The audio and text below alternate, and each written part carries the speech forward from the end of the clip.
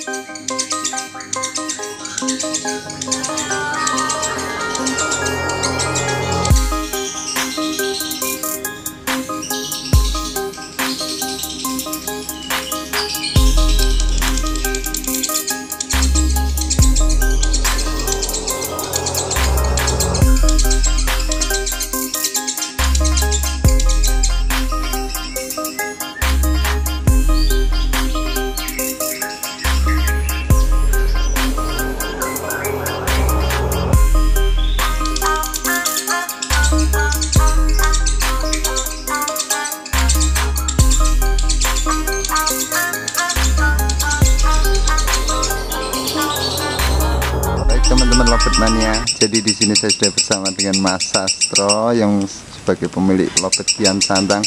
Om Sastro, apa kabar Om Sastro? kabar baik Baik, selalu baik ya Om. alhamdulillah, Alhamdulillah. baik, sehat selalu Ngatain gini. Om Sas, Ya. ini gini Om, saya pengen tahu lebih lanjut ceritanya Lobet Kian Santang ini Om. Jadi mungkin kan awal-awalnya dulu kan saya belum bahas Om. Awalnya jenengan dapat Lobet Kian Santangnya, awalnya kan juga juga belum seperti ini kan Om, Om Sas. Jenengan bisa diceritakan Om, Iya. sejarahnya Kian Santang ini Om. sejarahnya Kian Santang itu saya beli di dekat Gantangan mas di Semarang juga tempatnya di Sunan Kuning Oh kalau orang Semarang pasti tahu ya Om. ah iya betul Dan gitu terus Om. terus waktu itu aku pas main laber aslinya sih tidak gantang mas Hmm. Ah, di situ saya dengar burung ini bunyi langsung ya tertarik itulah terus saya tanyakan kepada sang pemilik itu nah terus buka-bukaan harga terus kebelilah burung ini yang namanya Kian Santang. Awal-awalnya jenengan melihat itu dari suaranya pripun Om? suaranya dia cuman suara kering aja sih mas keadaannya udah bocor atau sekedar ngeriwi Belum sih mas, cuman dengar bunyinya aja sekali dua kali. Terusan saya take over, burung ini malah diam. oh cuman diem aja Iya, di, sampai rumah juga diem diem selama hampir satu minggu itu mas. oh kalau jenengan ngambil ini kan feelingnya apa Om? pertama kali ngambil kian santang Dari nada keringnya itu aja mas. oh dari nada kering Nah, coba-coba memberanikan diri untuk membeli lobet Iya, Mas. ini ngaten ya Om yang pasti murah ya Om San eh Om Om Sas Alhamdulillah murah, tapi buat saya sih ya mahal sih mas. Wah, Oke Om Sastro. Jadi gini Om, kan kebanyakan gitu Om. Kalau kita pun beli lobet, ya Om nggak di postingan, nggak di pasar burung atau di mana-mana, pasti melihat dari kualitas si lobet. Nggak kita dia meskipun bunyi sekali, dua kali, tetap kita melihat dari suara kan ngoten Om. Iya. Setelah itu jenengan apa yang jenengan lakukan setelah itu Om? Setelah itu aku bawa pulang saya poles terus selama hampir setengah bulan itu mas. Hmm. Nah, terus keluarlah burung itu konslet. Langsung jenengan polesnya maksudnya polesnya dengan proses apa Om Sastro? Saya prosesnya hanya penjodohan aja sih mas. Oh, burung ini kian santang udah ada karakter ke konsletnya terus saya jodoh. jenengan dalam proses penjodohannya jenengan awal-awalnya jenengan dengan sistem tempel dulu atau asal modal wis pokoknya carikan jodoh asal masukkan gitu om kayak dijodohin ternak itu Awal-awal penjodohan burung ini sistem tempel mas. tempel dulu gitu. Itu berdua aja om Sas Berdua. itu prosesnya kira-kira berapa hari om kalau untuk penjodohan itu Kalau penjodohan aku tiga hari sekian santang mas. tiga hari ditempel terus Ditempel. tanda-tandanya Kalau kelihatan jodoh pasti dia deket mas, mendekat gitu. Jantan sama betinanya kalau ditempel mendekat. dempet itu dalam dalam arti Pak, kalau pas tidur ya om Iya. kalau itu ya baik om Sas setelah itu tempel itu jenengan langsung modal nekat masukin asal biar kawin gitu om Enggak sih mas, lihat burung betinanya dulu Hmm. mau birahi apa enggak. Kalau dia mau birahi, ya udah aku masukin gitu. oh langsung jenengan masukin Iya. setelah kawin itu om jenengan lobet itu langsung gacor betul om Sas Enggak mas, betul nggih pasti nggih ya. lobet Selang tiga hari baru kelihatan bunyi sekali dua kali mas. Oh ngatan Iya. itu berarti kalau ngawin itu diem dalam waktu tiga hari berarti nggak masalah nggih om Sas Enggak masalah ya mas. Ngaten. Mas Sas, ini kita bahas selain lo- lobet kian santang ini kan saya juga melihat tadi yang lobet paskun itu siapa Om Sas? Namanya Sakera mas. Saya kira baru lagi Om Sas. Alhamdulillah baru. Itu polesannya sama enggak Om Sas? Dengan kian santang ini caranya sama mboten? Hampir sama mas. Jenengan berarti cuman model main jodoh aja Om ya? Ya intinya lobet konslet itu di jodohnya sih mas. Oh gitu Om Sas. Berarti di sini yang ibaratin jenengan proses eh, penjodohan itu yang pasti ditempel dulu. Setelah setelah ada tanda-tanda tidurnya dekat, jenengan coba masukin jadi satu. Setelah jadi satu itu ngawin tiga hari itu pasti diem ya Om Sas. Diem mas. Ngaten nih. Dalam proses antara tiga nyampe satu minggu itu diem. oh. Jenengan kalau untuk proses hariannya pripun Om? Kalau harian malah nggak pernah keluarin sama sekali mas. Oh memang di dalam Jemur aja. nggak pernah. Hmm. Pokoknya ya di situ aja dulu. Saya mau tanyakan ini Om Sas.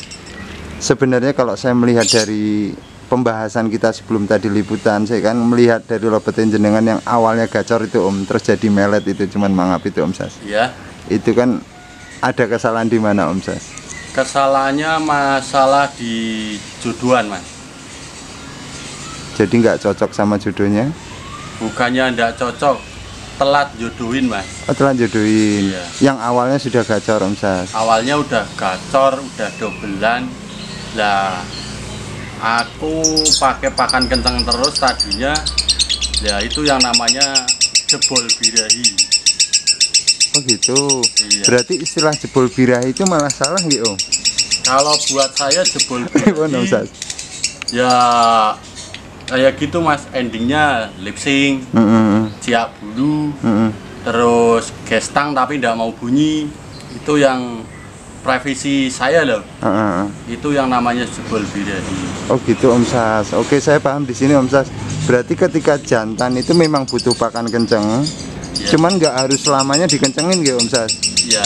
Kalau ketika sudah gacor nggak ada pasangan tetap dikencengin akan terjadi seperti itu malahan. Ya nggak pasti sih mas. Nggak pasti. Lihat-lihat burungnya itu. Kalau memang burungnya kuat ya larinya ke birahi ngunci itu mas, Hmm. bukan jebol birahi. Itu loh mas. Maksudnya. Berarti kalau untuk poin-poinnya settingannya Mas Sastro ini ketika jantannya gacor cepat-cepat buru-buru dicarikan betina. Nggih Om. Iya, kayak- Kalau ngoten nggih, kalau dari segi proses pakan tetap tidak bisa dikencengin terus. Nggak bisa mas. Ngoten nggih. Berarti kalau untuk jantan ini memang butuh pakan kenceng, tapi kalau sudah menunjukkan gacor, dicarikan betina. Ngoten nggih Om Sas. Om Sas mau beli bahan dari jenengan berapa Om Sas? Yang masih Ya, gacor-gacoran gitu Om Sas. masalah gacor-gacoran itu nggak bisa ditarget sih mas. Lihat materinya, Kualitasnya kualitas burung. sama jerih payah pusingnya Sas. yang utama itu mas. Yang santang ini jenengan ada bandrol mboten? Ya Kalau cocok. memang ada sih mas. Mhm.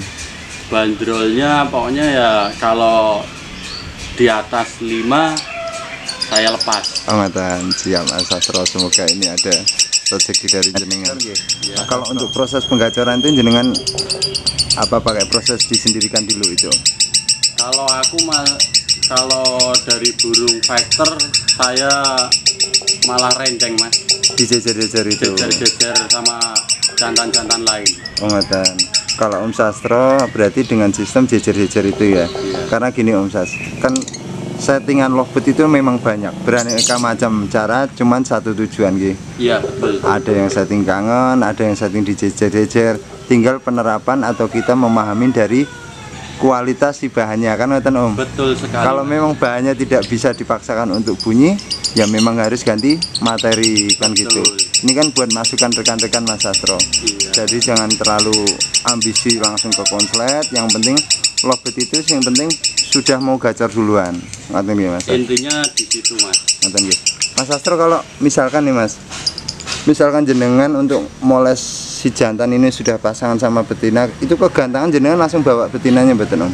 Enggak mas. Saya bawa single dulu.